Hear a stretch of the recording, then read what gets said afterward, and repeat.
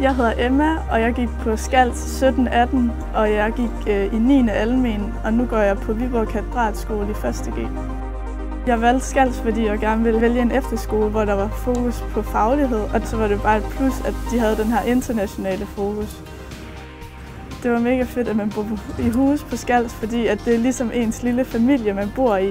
Og derudover så kan man så bestemme, hvor hvor social man har lyst til at være, fordi man kan gå ind på sit værelse, når man gerne vil være alene, og man kan gå ud i fællesrummet, og der vil altid være nogen, man kunne snakke med. Man havde et mega fedt forhold til lærerne på efterskolen, fordi det var sådan en form for reserveforældre. Man kunne altid komme og snakke med dem, hvis der var noget, man havde på hjertet. Og, og ja, de var også bare sådan en del af Skals, fordi de altid var der og var med til aktiviteter og, og spise og det hele. Det var mega fedt fællesskab, man havde på Skals. Der var jo som sagt altid nogen, man kan snakke med.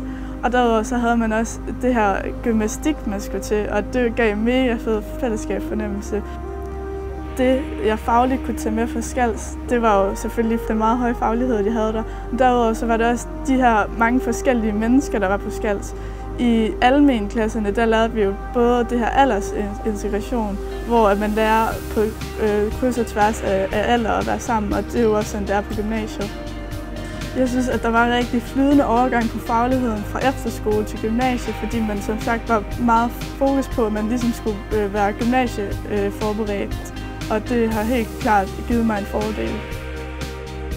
Øh, man skal vælge skals, hvis man er klar på at blive fagligt udfordret, men også udfordre sig selv med det sociale, og hvis man også er klar til på at tale noget engelsk og møde masser af kulturer øh, i andre lande.